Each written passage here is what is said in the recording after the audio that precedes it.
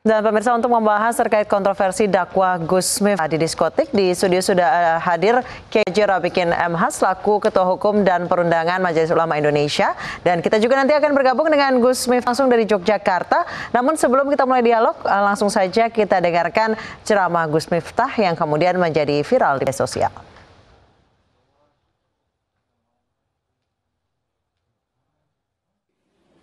Bareng-bareng yang kompak. Mudah-mudahan Tuhan semaksiat apa pun kita di hadapan manusia, tapi berkaya oleh Dia yang Maha Kuasa. Amin. Amin. Itu kawan-kawan, mari bersama-sama kita membaca dan menyambungkan sulawat. Mudah-mudahan apa yang kita ikhtiarkan senantiasa diridhoi oleh Allah Subhanahu wa taala. Kalau saya bilang sallu ala Nabi Muhammad, kamu jawab sallu ala. Sallu ala Nabi Muhammad. Salatullah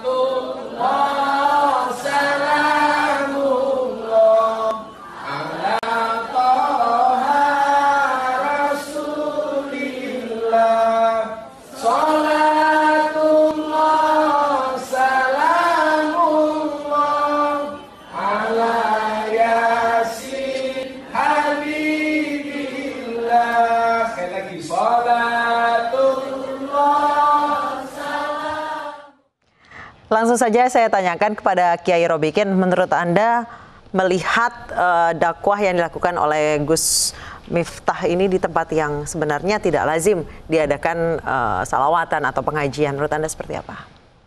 Ya sebelumnya saya sampaikan terima kasih. Begini, tidak seluruhnya yang lazim itu adalah benar dan baik. Lazim itu pengertiannya adalah sesuatu yang terjadi dan berulang dan hampir menjadi kebiasaan. Saya tegaskan tidak seluruh hal disebut sebagai lazim itu selalu benar dan baik. Begitu pula sebaliknya eh, sesuatu yang di- tidak lazim itu selalu dipersepsi sebagai keliru, salah dan tidak benar misalnya. Eh, saya kasih contoh dulu. Saya kasih contoh dulu. Mohon maaf kalau contohnya. Orang di Barat misalnya eh, rata-rata cara berpakaiannya berbeda dengan di Indonesia. Termasuk pakaiannya kalau perempuan itu pakai tank top, eh, rok mini dan seterusnya. Lalu kemudian ada eh, eh, wisatawan kita yang Muslim misalnya dan berkerudung, berjilbab dengan pakaian yang canggih itu nggak di sana. Tapi ketidaklaziman itu adalah sudah benar berdasarkan keyakinan agama yang dianut oleh si pemakai busana. Nah, dakwah itu pada prinsipnya adalah mengajak orang Tuhan, mengajak orang untuk eh, meniti hidup di jalan Tuhan. Nah, kalau mengajak orang itu dengan tujuan untuk mengenal Tuhan dan hidup di jalan Tuhan, maka tentu yang diajak itu dikonotasikan sebagai belum berada, belum mengenal Tuhan atau belum berada di jalan Tuhan hidupnya. Oke.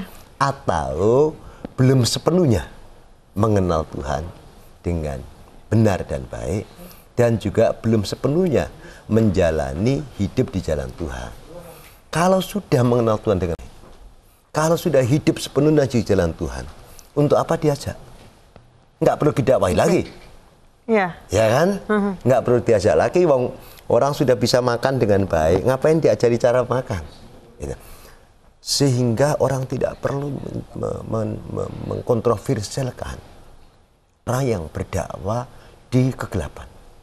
Apakah kegelapan dalam tengah malam, tengah malam, atau kegelapan di tengah hari?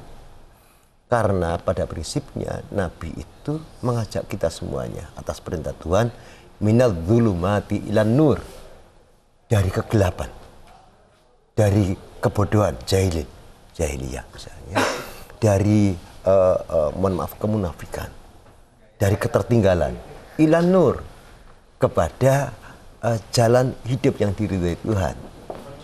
Nah kalau kemudian eh, itu kaidah mengenai bagaimana seharusnya dakwah minat zulumati dan nur.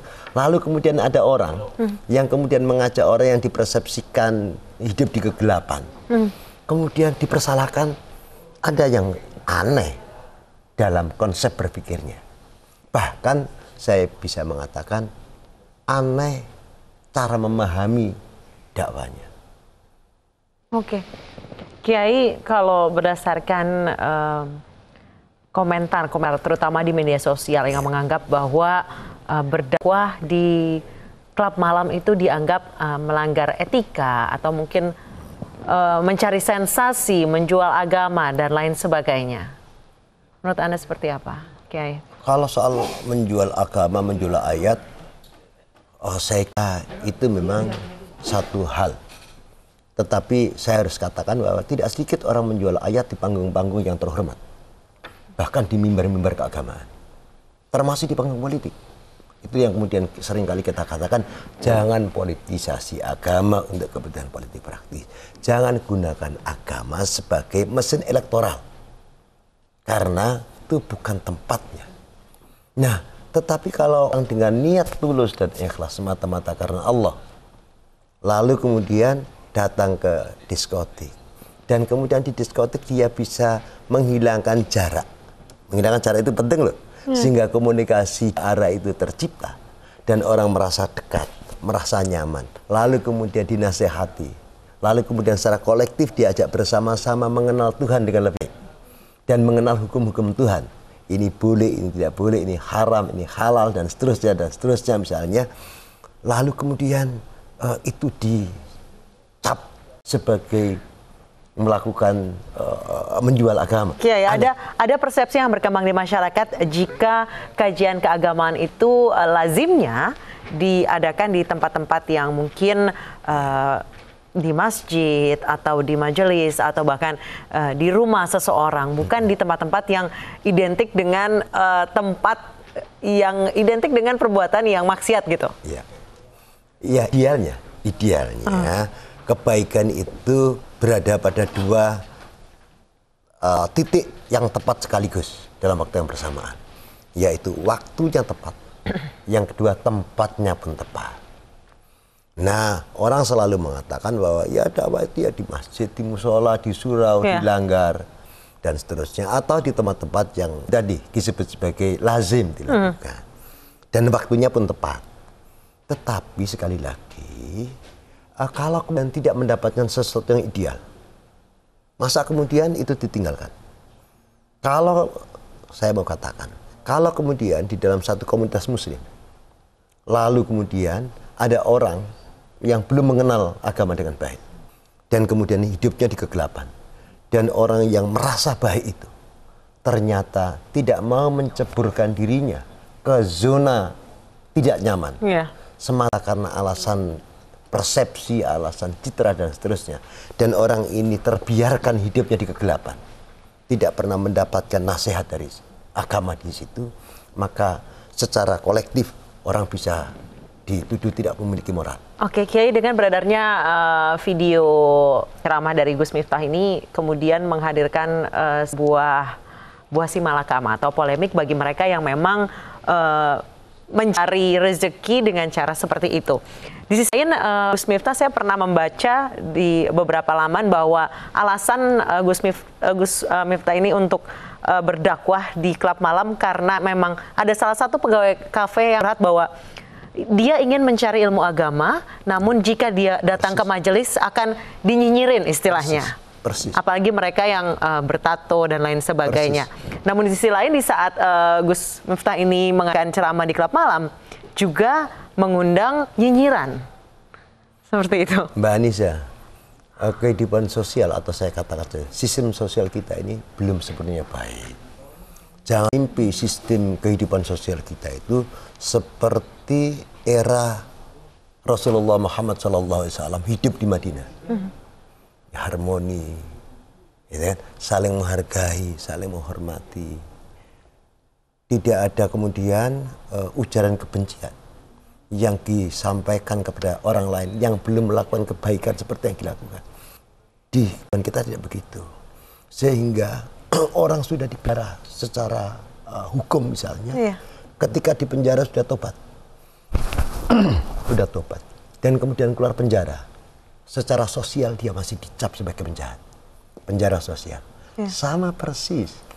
Tidak sedikit kami meyakini orang-orang di kehidupan yang disebut gelap itu, di kehidupan malam itu punya etika, punya niat. Manusia punya hati, punya nurani. Saat tertentu tersentuh oleh keadaan tertentu. Pengen berbuat baik, tapi mohon maaf karena bertato, karena orang mengenal dia begitu. Ke masjid, belum tentu orang yang di masjid itu menerima dia sebagaimana menerima imam masjidnya. Padahal harusnya mereka diperlakukan lebih dari itu. Yeah. Kan ada konsep mengenai mu'alaf. Mu'alaf itu orang yang baru memeluk ajaran Islam. Sekaya apa pun itu, maka berhak mendapatkan uh, uh, harta, mendapatkan kehormatan, mendapatkan kedudukan. Tujuannya apa? Supaya dia tahu bahwa Islam itu kita menghargai saudara yang lain. Nah ini juga sama. Orang yang sebelumnya tidak sahabat masjid gitu, tidak sahabat tempat-tempat majelis taklim, kemudian datang harusnya diperlakukan Pak Raja. Oke. Okay. Tetapi sekali lagi di kehidupan sosial kita sering dinyinyirin, iya, kecibir. Ah itu paling lagi punya kebutuhan ini, gitu kan? Oh ini paling lagi uh, mau apa? Saya kira itu sistem sosial yang tidak sehat. Oke, baik Kiai. Sebelum kita lanjutkan uh, dialog, kita akan saksikan dulu uh, ceramah atau dakwah dari Gus Miftah. Assalamualaikum warahmatullahi wabarakatuh. Saya Gus Miftah. Saya gara-gara pilpres Indonesia hanya ada dua suku. Satu suku karet, dua suku cebong.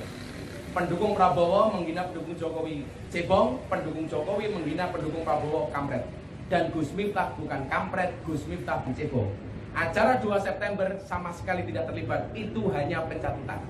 Yang penting siapa pun presidennya akur. Ingat, 2019 tetap numpak motor. Tetap numpak motor. Tetap numpak motor. Indonesia Raya merdeka merdeka hiduplah Indonesia Raya. Indonesia Raya merdeka merdeka tanahku negeriku yang kuci merdeka Uh, Kiai Robikin, uh, ini tadi yang kita saksikan adalah salah satu ceramah dari Gus Miftah yang ia menyatakan bahwa ia tidak berpolitik dalam uh, setiap ceramahnya. Tanggapan Anda seperti apa? Ia bahkan menegas, menegaskan tidak menjeb, uh, menyebut salah satu dari sebutan untuk pendukung-pendukung salah satu uh, capres, cawapres ini. Bagus. Kalau orang uh, uh, masuk di wilayah dakwah, di wilayah keagamaan, saya kira kalau misalnya harus berpolitik, maka politiknya harus politik kebangsaan. Karena setiap pribadi itu punya apa yang disebut dengan mas'uliyah watoniyah tanggung jawab keumatan, tanggung jawab kebangsaan. Uh, dengan kata lain bahwa politiknya bukan politik praktis untuk kepentingan elektoral tertentu. Saya kira itu positif, itu bagus. Yang keliru justru orang jual ayat untuk mendapatkan dukungan elektoral, bahkan dijadikan mesin. Uh-huh. Dulu, dulu misalnya uh, era Orde Baru itu ada uh, ayat tertentu dalam Al-Quran yang menyebut istilah sajaroh Sajar itu pohon. Maka kemudian ada partai politik tertentu menggunakan itu sebagai legitimasi uh, partai politiknya. Okay. Nah itu yang tidak benar, itu yang tidak boleh. Tapi kalau orang dakwah kemudian politiknya politik kebangsaan perlu, penting. Dalam konteks Indonesia misalnya maka materi dakwah kalau masuk ke wilayah uh, politik kebangsaan harus semakin memperkuat seseorang di aspek nasionalismenya. Harus makin mencintai tanah airnya. Karena kurang sempurna imannya seseorang. Kalau dia tidak sanggup menumbuhkan semangat nasionalisme minimal pada dia. Hubbul watan minal iman. Nasionalisme itu bagian dari iman. Oke, nasionalisme adalah bagian dari iman. Kiai kita akan lanjutkan uh, dialog kita usai jeda berikut tetap bersama kami di Special Report.